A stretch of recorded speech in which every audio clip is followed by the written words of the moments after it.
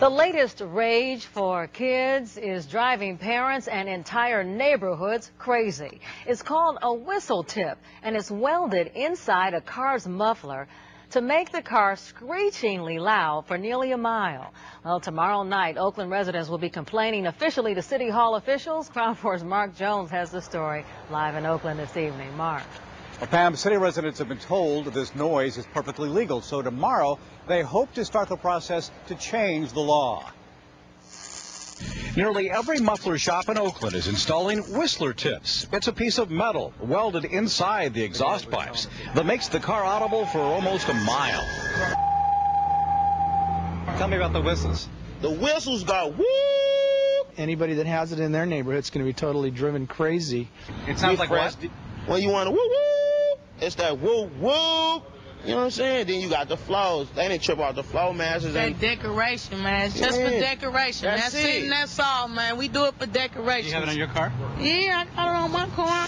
It was being installed on their car. Roxanne Brunn says the high-pitched tone, like the squeal of a BART train that doesn't stop, is keeping her awake at night. Police have told her it is legal. They think it's a fad. It's going to go away. It's not going away.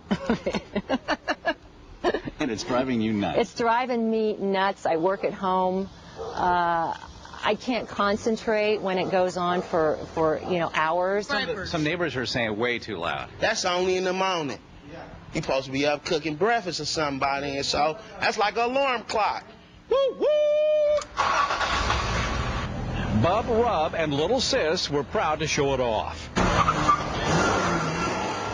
Some Oakland residents will complain about the noisemakers Tuesday night at the city council meeting. Until the law changes, Marcelo Cabrera says he will keep installing them. Would you Because- want it in your neighborhood? No, I won't. I won't. But that's what I want. You know, my business is sell the pipes, so I have to sell whatever they want. And whatever people want, I'll sell it. An AC Transit bus driver told us the noise is so loud you can't even hear the siren from an approaching ambulance. So far, they've caused no known accidents. In Oakland, Mark Jones, KRON 4.